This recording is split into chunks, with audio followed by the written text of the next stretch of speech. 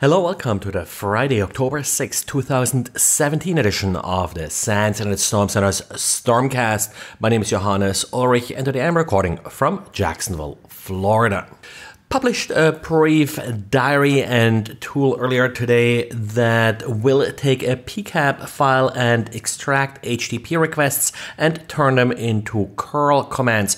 Curl, if you're not familiar with it, is a little Unix command line tool that allows you to send HTTP requests. So what this tool does essentially, it allows you to replay the requests that were included in that PCAP file.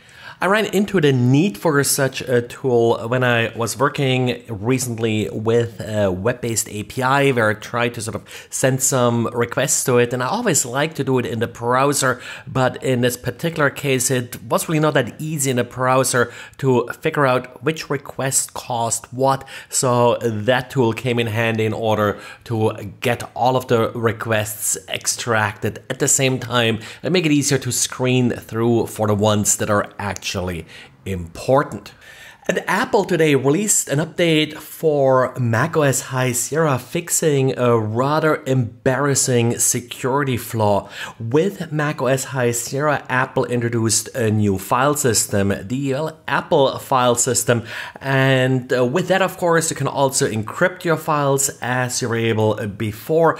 But the implementation of the encryption had a pretty interesting bug. Now, when you set up encryption for a particular drive, you can also set up a password hint. However, it turned out that Apple saved the password in the password hint, not the actual text that you entered as a password hint.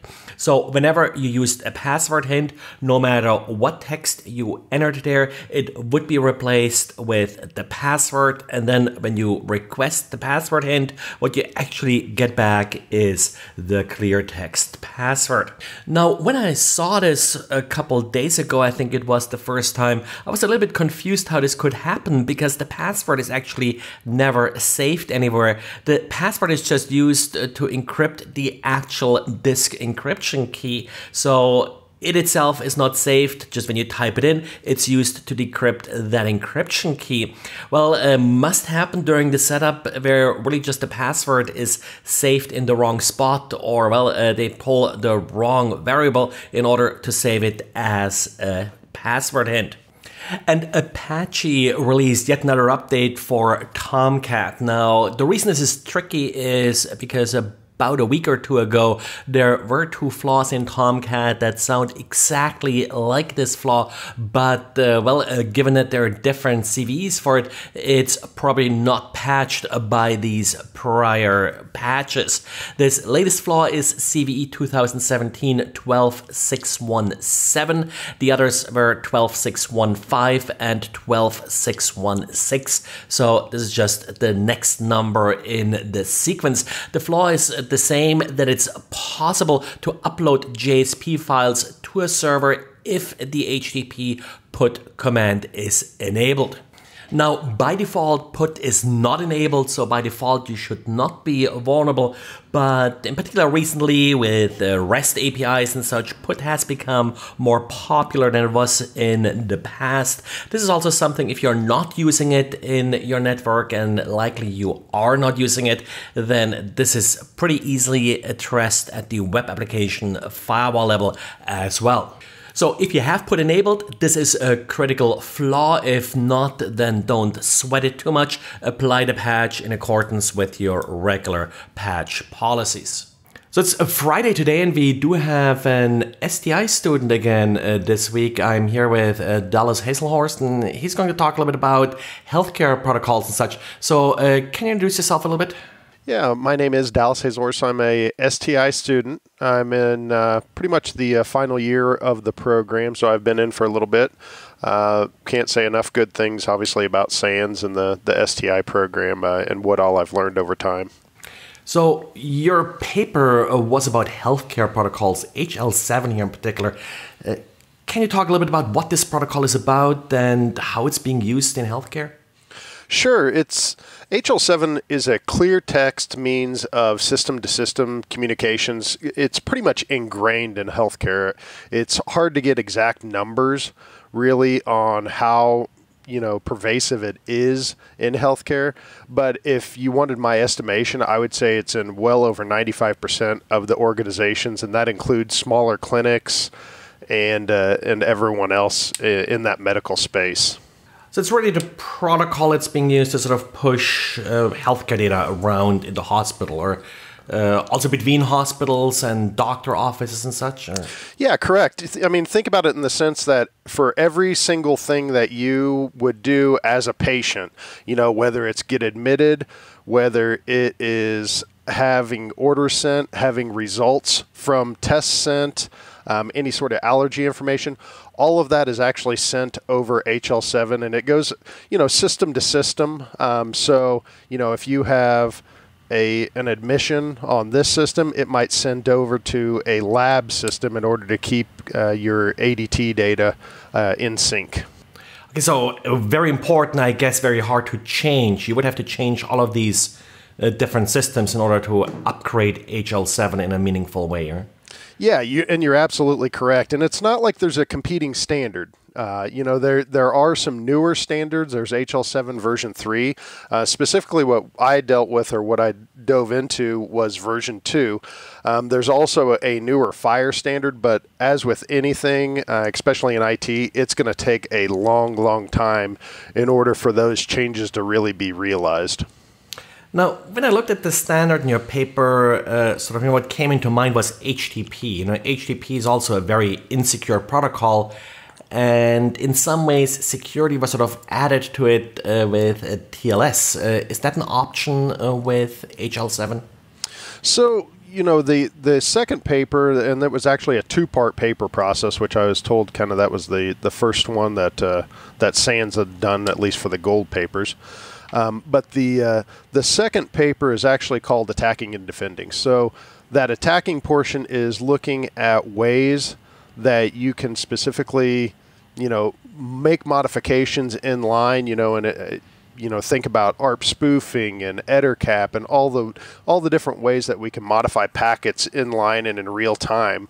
And then the second part of that is actually defending, and the defending part was extremely uh, I guess, vital, uh, not to use a healthcare term, but vital for me to make sure that it was part of the paper because I wanted to make sure that there were defensible mechanisms, uh, you know, that were that people could take and utilize on their systems today without having to change, you know, the underlying protocol or anything else.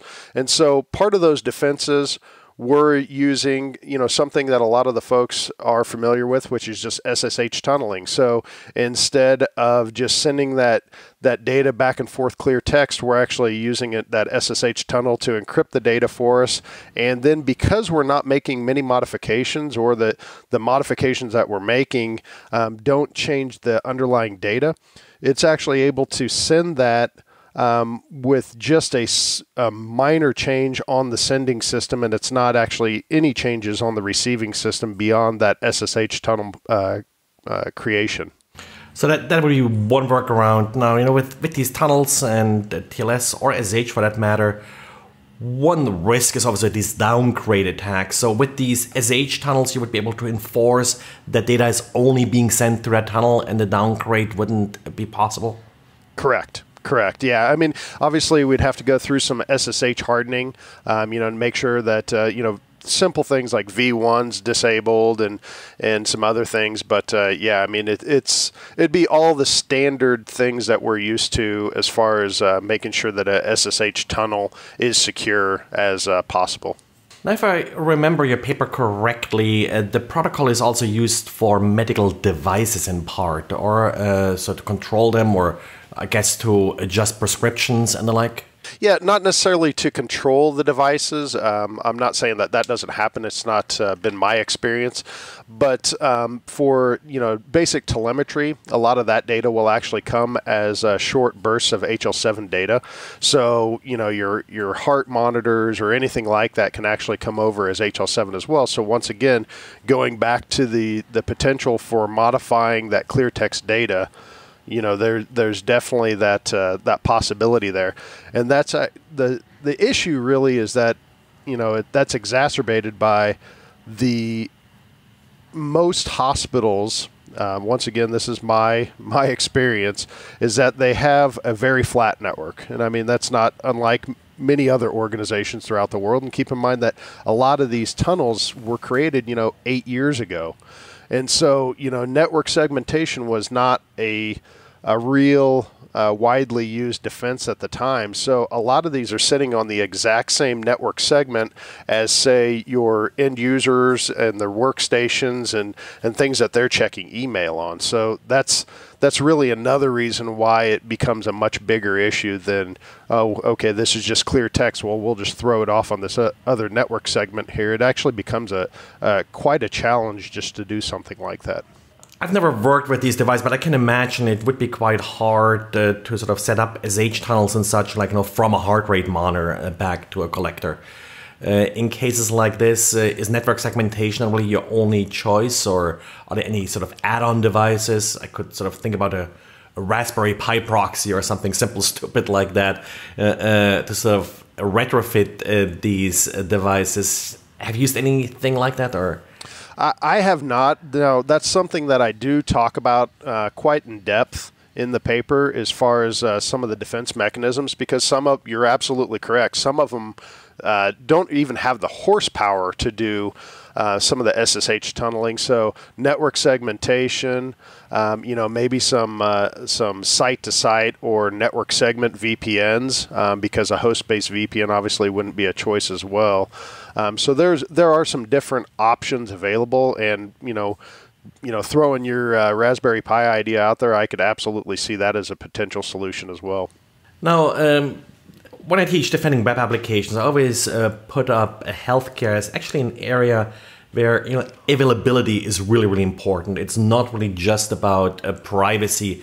Uh, yes, we all want our you know health information to be protected, but in the end, if I show up in the ER, I want doctors to have quick uh, access to my records.